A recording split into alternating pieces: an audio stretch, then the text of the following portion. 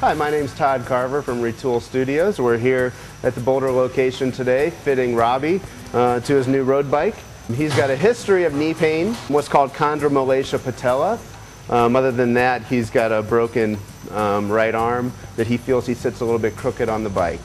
He's in no pain currently. He's racing a full um, Cat 3 um, road race schedule this summer, and he's looking to step it up in the fall at cyclocross. He races locally with the Open group, which is Cat Pro 1-2. Um, so he can really step it up there this fall. First thing that jumps out is he's got narrow bars. He's got 42 centimeter width handlebars and a, a relatively short stem for a rider who's six foot five, um, racing competitively. Um, other than that, his general fit to the eyeball doesn't look that bad. I can see why he raised his saddle a little bit though. We're talking about a dynamic bike fit system with the Retul. Um, so we're going to be testing him under specific power outputs. We're going to start at 150 watts and then bring him up to probably 300 or 350 and record full body kinematics on both sides of the body under that load um, to um, observe his movement patterns in a more quantitative fashion so we can make the right changes. Another thing I noticed right away is that he, he dropped his left hip on the bike. Um, during the um, initial evaluation before he got on the bike, we had him on the exam table. It looked like he maybe had a short left leg. Uh, when he stands, his left hip drops a little bit as well. When he's on the bike, it really drops. This is probably one of the reasons why he feels crooked on the bike because he is crooked on the bike. And one of the things we'll be doing with the Retul hip marker is trying to, to level the pelvis as much as possible and um, get that um, as, as symmetrical as possible and as quiet as possible. 42, negative 5. So what I'm seeing initially with this data is um, a little bit of a short reach to the handlebars. His elbow angle is a little bit too tight. His back angle is a little bit too high. He's not extending the knees far enough. Before and after the saddle looks pretty good.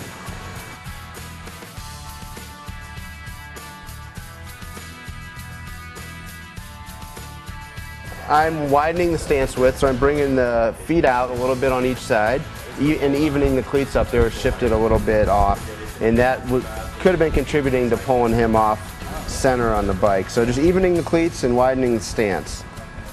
The changes we're making to the bike, we raise the saddle five millimeters and we're dropping the bars five millimeters. And we're gonna put a 130 stem on there. The reach between the saddle and bars is too short, so that tells you to lengthen the stem and then his back angle was too high and that tells you to drop the bars.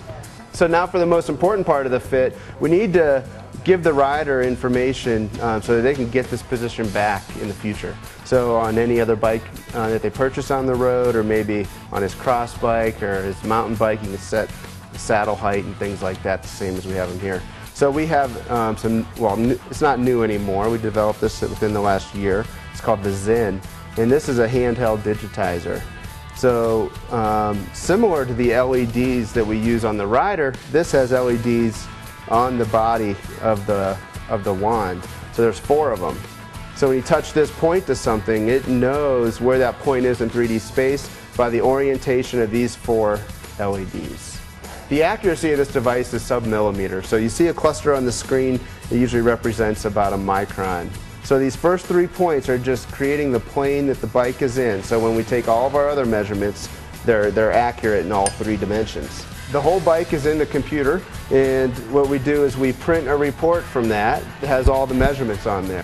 When Robbie came in, um, we had a rider with a history of knee pain and a brand new bike. Um, he's been he, he rode it twice. Um, he felt pretty good on the bike, but once we got him up on the bike and uh, got the retooled data, uh, we were able to raise the saddle five millimeters, give him a little bit more leg extension, and we were able to level out his pelvis a little bit by putting a lift under his left cleat. He's got a short left leg and he drops the hip on that side. Um, so we were able to level that out a little bit. We were also able to straighten his knee tracking out a little bit on the left um, by bringing the stance width out. So I shifted the cleat, brought the foot out a little bit. Um, we were able to put him into a more aerodynamic position by lowering the handlebars and also lengthening the stem.